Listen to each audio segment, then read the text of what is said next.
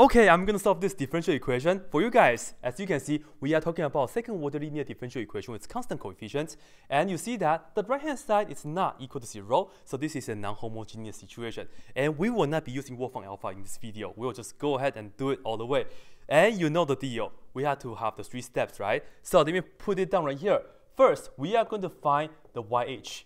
That means I have to look at this y double prime minus 3y prime plus 2y to be 0 like this and then solve that. So to solve this, we change this into r squared and this is minus 3r and this is plus 2. No r, this is equal to 0. Factor time, right? This is going to be r minus 1 times r minus 2 equal to 0. And you know r will be 1 and 2. From here, you know YH is going to be C1 e to the 1t. So let me just put on t. And then plus C2 e to the 2t. So here we have the YH. And now, here we are going to be using the uh, method of undeterminate coefficient to find YP for the particular solution. So that's the step two.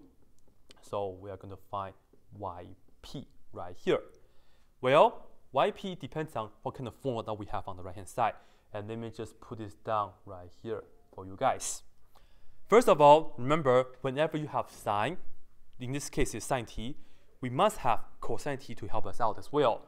So based on this sine t, I will just go ahead and put down sine t and cosine t, right? And this is being multiplied with e to the t, so right here I will have to multiply this by e to the t. Likewise here, e to the t, okay? So this is pretty much a building block for this particular solution. But I don't know the coefficients though, so I'm going to put down a right here and b right here, and then I'm going to add them up. So you know the deal. We take this and differentiate twice, and then plug in the second derivative and then first derivative also the original into the differential equation, and then match the coefficients, and then find out what a and b are, right? And another remark before we do that, you see, yes, here we have e to the t, and yes, here we have e to the t as well, but this is just a constant multiple with e to the t. Right here, we have a times e to the t, and this is also being multiplied by sine t. In another word, this and that, they are not a constant multiple of each other. This and that are linearly independent, so we don't have to multiply by any extra t right here, which is a great news, isn't it? Anyways, uh, derivative in action, yp prime, and let me just put this down like this. I will look at this as my first function, and then this is my second function, and likewise, for the second term, this is my first and that's my second. You know we have to do the product rule, right? Anyways, right here, I'm going to first keep my first function, which is a e to the t, and the derivative of sine is cosine t. And then we add it with the, we keep the second function, which is sine t. So let me put it down right here, okay? And we multiply by the derivative of a e to the t, which is just a e to the t, okay? And the next, we are going to be using a product rule right here as well. So I will put down, well, let me just put down the first function right here, which is b e to the t. And I will multiply by the derivative second. Derivative of cosine t is negative sine t. Okay, so we have the subtraction right here. And we add the second function, which is cosine t, and multiply by the derivative first. Derivative of b e to the t is just exactly b e to the t, and that's such a beauty. Anyways, this is what we have. And if you would like, you can kind of combine the constants for the A and B. Uh, maybe we should do that because right here, we have four terms already. And you know, this is multiplying, right? They are multiplying, so two functions. If you want to just look at the expression like this as how it is, and then do the derivative, you know, you have to use the product rule four times, and you end up with a really long expression for the second derivative. So seriously, we should just like, collect some terms before we do the next derivative. This is still my first derivative, okay? So what I would like to do is, let me collect all the terms that has e to the t times sine t. So I'm talking about this one, right? This is a term that has e to the t sine t. And likewise, we can also combine it with this. Well, I'm just going to put down uh, the function part right here, e to the t sine t, and the coefficient is a minus b, right? So let me just put it down like this, a minus b, like that. Cool. And then you see this and that can be combined as well. I will be adding them together. The coefficient is a, and the coefficient here is b, so it's a plus b. And then I will put down e to the t right here times cosine t, like this. Okay. Uh, to do the next derivative, once again, we are going to use the product rule. And now, you know a minus b is just a number. Do not put that down as like another constant. We must have a and b together like this, okay? We have to work with a and b. I'm going to just pair up a minus b times e to the t as the first function, and sine t will be my second. Likewise, I'll do the same right here. And this is just a you know, dot for multiplication. Here we go. I'm going to keep the first function, namely, I'll put down a minus b times e to the t. This is technically my first function. And then I will differentiate the second function, which is going to be cosine t. And I will keep the second function, which is sine t. And then I will differentiate the first. The good thing right here is that the derivative of the first is just that, because it's the constant multiple of e to the t. So it will still be a minus b e to the t like this, okay? And then we'll do the same thing right here. Um, I'm going to first keep the first function, so I will write down a plus b e to the t, okay? And we'll differentiate cosine, which is going to give me negative sine t, like that.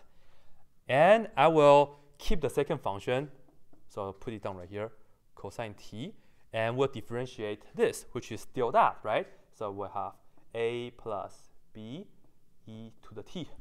Just like that, that's the second derivative. And can we combine terms? Yes, we can, right? yp double prime. This is, this is going to be, let's work with the et sine t first, which is once again in the middle, like this, and that, right? So allow me to just put down right here e to the t sine t first, and then I will figure out the coefficient right in the front. Okay, so do it carefully. This is positive a times positive times negative b, right? So this is right here is going to be a minus b. Okay, this is a minus b, like that. But when you distribute the negative in here, this is going to give you negative a and then negative b, right? So in other words, you see this a and that a will cancel, and then negative b, negative b will be negative 2b, and that's the coefficient in front of this term for the second derivative. And we do the same thing for e to the t cosine t. So let me just open the parentheses for the uh, coefficients in a minute, and we will have e to the t cosine t like that. So right here, this is just a minus b, nothing special. And right here, this is also a plus b, nothing special. But you see, minus b plus b cancel, and we just have a plus a, which right here, this is 2a. Okay? So in fact, the second derivative is actually better than the first derivative, isn't it? Anyways, here we go. We will plug in everything into the original. Right? So now I'm just going to draw an arrow like this. So plugging yp. For the second derivative, I will just do that, right? I will put this down in blue. So this is going to be negative 2b times that. So let me just write down negative 2b e to the t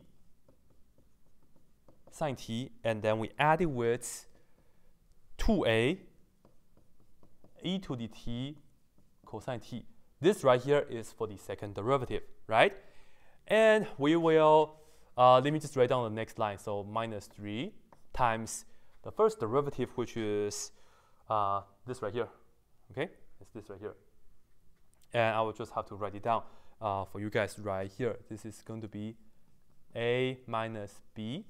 And we have the et sine t. And then we have the plus a plus b. And we have the et cosine t like this. Like that, right? And then this is for the second term, like that. And we have to add 2 times y, which is, we have to plug in yp. So it's 2 times that, which is a e t sine t plus b e t cosine t, like this, okay? All of this shall be equal to e to the t sine t. Okay, now on the left hand side, you know you can collect enough terms so that you have something times e to the t sine t and likewise something e to the t cosine t. And that's what we have to do right here. So this right here is what we have to do. And let me just set out first. Let's look for all the terms that has e to the t. Uh, let's put down sine t first, right? I'm not sure what's in the front yet. And then we'll add it with something. And we have e to the t cosine t. And this should give us this, e to the t sine t, okay? And now figure out what should go into the parentheses in red. So let's look for all the terms that has et sine t. First of all, I'm looking at this, right? This right here has et sine t. And this right here also has et sine t, but then be sure you see we have a times negative, time, sorry, a minus b like this. But we have a negative 3 in front. So be sure you take negative 3, distribute negative 3 times a, this is negative 3a, negative 3 times negative b is plus 3b, okay? So I'm looking at this term now. And lastly, we have this right here as well, and we have to multiply this by 2. So I'm just looking at the coefficient, so that's just 2a. All right, so now let's see what do we get. Let's collect the a first. A, 2a right here, minus 3a, so that's going to be negative a, right? 2a minus 3a is negative a. And then 3b minus 2b, this is going to be plus b. So that's what we have, okay? And now we'll be looking for the et cosine t term, which is this. First, I have the 2a right here. Let me just make it stand out a little bit more. And then next, you have to be careful. This is the term that we're looking at. We have a plus b, but we still have this negative 3 in the front. Take this negative 3, put it here, and then distribute. So you are talking about negative 3a, and then distribute it, you get negative 3b, like this. Once again, you have this negative 3, put it here, because you have to multiply in. And then this is another parenthesis, so you have to distribute right here, and you get that, okay? At the end, you have 2 times this, which is 2b, like that. So we're looking at this terms now. Okay, let's do the a first. We have 2a minus uh, 3a, which is negative a again. And then this and that together, negative 3b plus 2b is negative b, like that, isn't it? So this is very exciting because now you see this right here, this is the coefficient for e to the t sine t. That must match with 1 because the coefficient right here is 1. Okay? So what you're saying is that you must have negative a plus b equals to 1. And this is the coefficient for et cosine t, but we don't have any right here. That means it's 0. So I'll put down negative a minus b equals to 0. All right? And you can just go ahead and do this real quick. You see, you can just like, you know, combine them, you get negative 2a that's equal to 1, right? And let me just write down my 2 better. This is a negative 2a is equal to 1. So in other words, a is equal to negative 1 half. Plugging negative 1 half into maybe this one. So we are talking about negative, negative 1 half for the a. Minus b, I don't know yet. It's equal to 0. Um, I'm going to move the b to the other side. So you see this is going to be b right here. Negative negative becomes positive. So you're talking about b is equal to positive 1 half. Oh my goodness. Oh my goodness. We are done with this, right? And you see, I didn't even use a calculator, so you guys can do this too. Anyways, this is going to tell you yp. Well, I should still put this down in blue for the yp, right? Okay, I will. Um, let me just put it down here, yp, okay? yp is going to be a, we found it, which is negative 1 half. So let me just uh, put it down right here. And then this is with e to the t sine t, okay? And then b right here is positive 1 half. So we'll just put down positive 1 half and then e to the t cosine t. And once again, here is my yp. And we got our yh right here earlier. Okay? So at the end, y, this is the step 3. So let me just put it down uh, right here. This is my step 3. Remember y, which is the final answer for the very original. This is equal to, by the superposition principle, yh plus yp, right?